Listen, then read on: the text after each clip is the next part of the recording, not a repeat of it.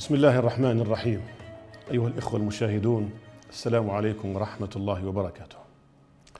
في هذا اللقاء المتجدد من برنامجكم قصة قصيدة.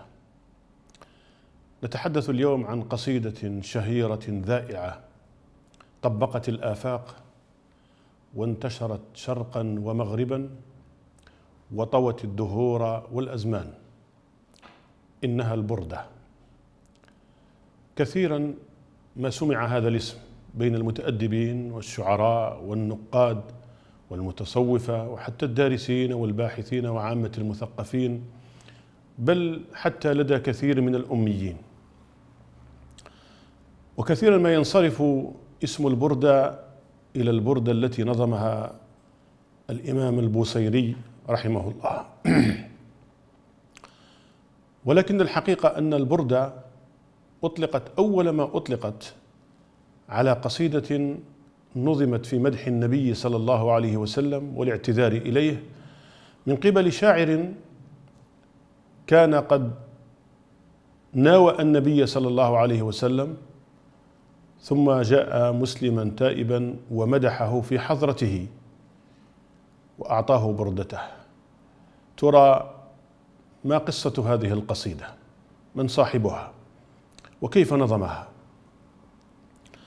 البرده تشيع بين المؤرخين للأدب ولتراجم الشعراء. أن كعب بن زهير زهير بن أبي سلمى الشاعر الجاهلي المعروف صاحب المعلقة له ولد اسمه زهير اسمه كعب.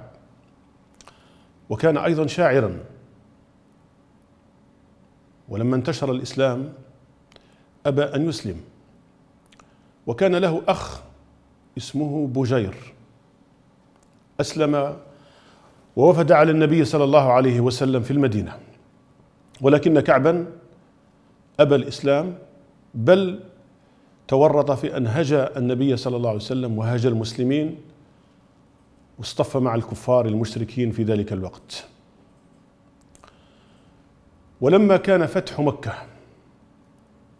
أمر النبي صلى الله عليه وسلم بالعفو عن جميع من عاد النبي صلى الله عليه وسلم كما هو معروف اذهبوا فأنتم الطلقاء. إلا نفرا يسيرا من الناس ممن كانت لهم كان لهم شطط ومبالغة في العداوة. أربعة أو خمسة منهم كعب بن زهير. ففر وهرب. ولكن أخاه بجيرا راسله وبعث له يستأمنه ويقول له يا كعب إن لك عقلا وإن النبي صلى الله عليه وسلم يعفو عمن جاءه مسلما تائبا فانجو بنفسك. تعال إلى النبي فإنه سيعفو عنك. ولكن زهيرا بدأ يستشير الناس ومضى هائما على وجهه بين القبائل ولكن كل قبيلة يذهب إليها ترفضه لأنه بعد الفتح سيطر المسلمون على أغلب شبه الجزيرة العربية ودان أغلب العرب للإسلام. ومن لم يسلم بقي خائفا يترقب من هذا المولود الجديد. فكان كلما ذهب كعب إلى مكان رفضوه وتكلم هو عن ذلك في قصيدته. البردة تكلم عن ذلك ووصف حاله وهلعه وخوفه ولم يجد ملجأ يذهب إليه فقد ضاقت به الدنيا بما رحبت. ولكنه في يوم من الأيام قرر أن يأتي إلى المدينة فقد تذكر صاحبا له يعرفه وكان هذا الصاحب مسلما. وقيل إنه سيدنا أبو بكر رضي الله عنه في بعض الروايات. فجاءه وقال له إنني أريد أن أسلم ولكنني أخشى أن يقتلني محمد. فاستأمن لي عنده. فقال له إن النبي صلى الله عليه وسلم لا يقتل من جاءه تائبا. فبات عنده وفي الصباح عند الفجر قال له بعد الصلاة اذهب واجلس عنده وعرفه بنفسك وأعلن توبتك وإسلامك. فإنه سيسامحك وسيعفو عنك. وفعلا بعد الصلاة جاء كعب وهو متلثم لأن النبي صلى الله عليه وسلم يعرفه. تلثم وبعد أن سلم المسلمون جاء إلى النبي صلى الله عليه وسلم فجلس عند ركبتيه وأمسك بيدي النبي صلى الله عليه وسلم وقال يا رسول الله لو قلت لك إن كعبا جاء مسلما تائبا أتعفو عنه؟ قال نعم. فحصر اللثام عن وجهه وقال له أنا كعب. ثم بدأ ينشد قصيدته الشهيرة في وصف حاله وفي مدح النبي صلى الله عليه وسلم والحديث عن المسلمين ومدحهم. وكالعادة عادة الشعراء في ذلك الوقت كانوا يبدأون قصائدهم بالغزل. فبدأ قصيدته بالبيت المشهور الذي يحفظه يحفظه أكثر المتأدبين والمشتغلين بالشعر. بانت سعاد فقلبي اليوم متبول. متيم إثرها لم يفد مقبول. وأكثر من عشرين أو خمسة وعشرين بيتا كلها في الغزل وفي وصف صاحبته. ثم يتحدث عن سفره وعن خوفه بين الناس وكيف كان قلقا مهموما وعن الرعب الذي كان يسكن قلبه من وعيد النبي صلى الله عليه وسلم. ثم وصف وتحدث عن ناقته وكيف كانت تجري به هائما حتى أوصلته إلى المدينة وبعدها يصل إلى مدح النبي صلى الله عليه وسلم فيقول فيها مثلا فقلت خلوا سبيلي لا أبا لكم. فكل ما قدر الرحمن مفعول. وكل ابن أنثى وإن طالت سلامته يوما على آلة حدباء محمول.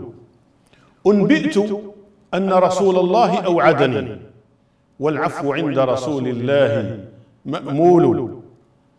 وقد أتيت رسول الله معتذرا والعذر عند رسول الله مأمول. وفي رواية والعذر عند رسول الله مقبول. مهلا هداك الذي أعطاك نافلة القرآن. فيها مواعيظ وتفصيل. ثم يمدح النبي صلى الله عليه وسلم فيقول إن الرسول لنور يستضاء به. مهند من سيوف الله مسلول. هذه القصيدة الجميلة في الحديث عن وصف النبي صلى الله عليه وسلم وعن مدح المسلمين وهي طويلة بلغت حوالي أكثر من ستين بيتا تقريبا في أغلب الروايات.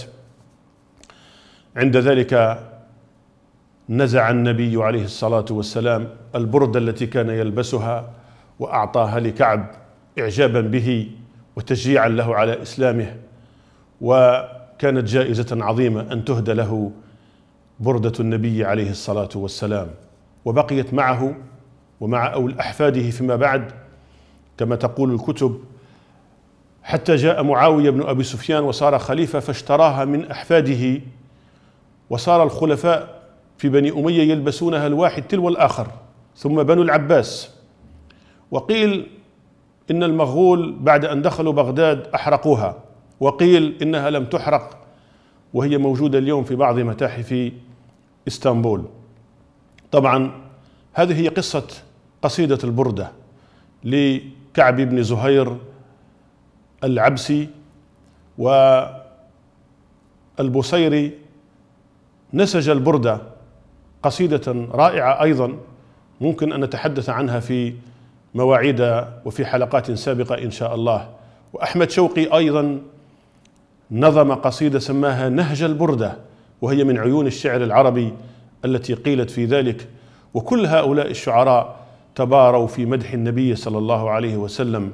هذه هي القصيدة الجميلة الرائعة قصيدة البردة وقصتها قصة البردة لكعب بن زهير. السلام عليكم.